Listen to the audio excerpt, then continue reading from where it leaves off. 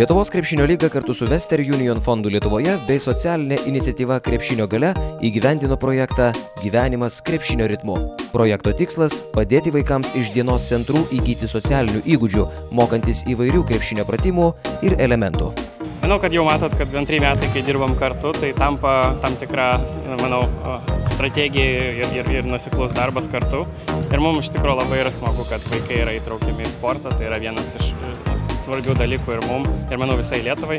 Ir tikimės, kad po šio renginio bent vienas iš jų iš tikrųjų taps tikrų krepšininkų. Labiausiai įsiminė tai yra vaikų a, džiaugsmas, kurio tikrai nepakeisi ir kurio tikrai nepadirbsi. Ir aš manau, kad pamačiau ir tą patį žaibą ir krepšininko akise, kai jie pamatė vaikus ir pradėjo su jais kartu treniruotis, bendrauti. Aš manau, kad tas jungisis tai sukuria labai didelį džiaugsmą vaikams ir aš manau, kad tai yra neįkainuoja. Pirmieji renginių džiaugiasi Priekulė socialinių paslaugų centras, kuriuos aplankė Klaipėdos Neptūno krepšininkai. Vaikus aplankė visi komandos žaidėjai ir trenerių štabas. Krepšininkai mokė vaikus įvairių krepšinio elementų, padėjo juos geriau suprasti bei žaidė smagius žaidimus.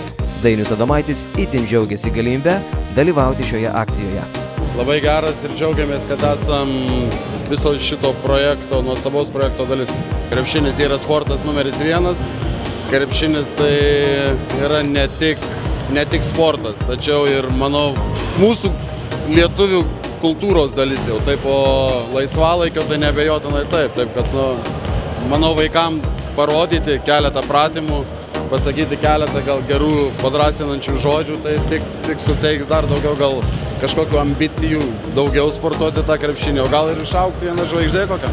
Labiausiai įsiminė turbūt vaikų šypsenos, kad jie buvo patenkinti, jie tikrai džiaugiasi sportuodami, džiaugiasi susitinkydami su krepšininkais ir mums tai džiaugsmo irgi taip pat sukelia.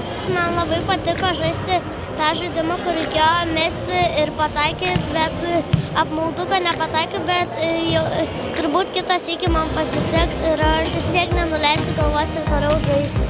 O tu norėtum žaisti Klaipėdos Neptūne? Taip. Taip, žais tikrai. Žin, aš žinau, kad jisai žais. Kita projekto stotelė buvo Alitus, kuriame Dzukijos krepšininkai susitiko su Alitaus atviros jaunimo erdvės auklėtiniais. Krepšininkai ypatingai džiaugiasi vaikų sugebėjimais ir nusiteikimu kiekvieną pratimą atlikti kuo geriau. Labai smagu sudalyvauti tokiam projekte, pažaisti, pabendrauti su vaikais, tikrai geras jausmas.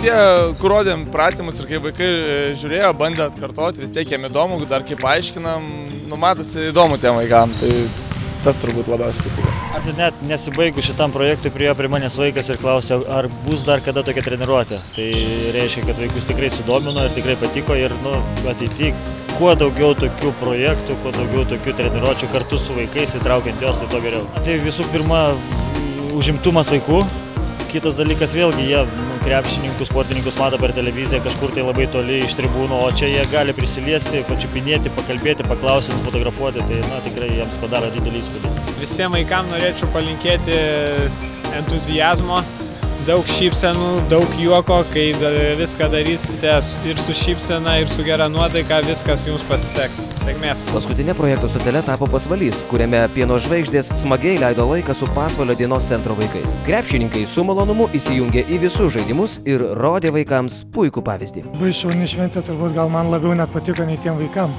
Ar ne, kodėl? Nežinau, smagu buvo prisiminti tas pradmenis krepšinio, pajudėti, pasijuokti kartu, galbūt pat, pat, pačiam patapti to vaiku. Mažiesiems dalyviams didelį įspūdį paliko galimybė dalyvauti įvairiuose žaidimuose ir pramogose kartu su krepšininkais. Tarp vaikų atsirado ir tikrų krepšinio gerbėjų, kuriems ši diena buvo labai įsimintina. Mėčiau krepšinį su Stepanu Pabrausku. Tas geriausias žaidėjas. O iš kur tu žinai? nežinau. Aš ne, aš visada ateinu į krepšinį. Sirgu. O dar ką darai? Už būgną. Du kėlins mašio. Žvaigždės. Žvaigždės. Zubija. Bertu. Bertu.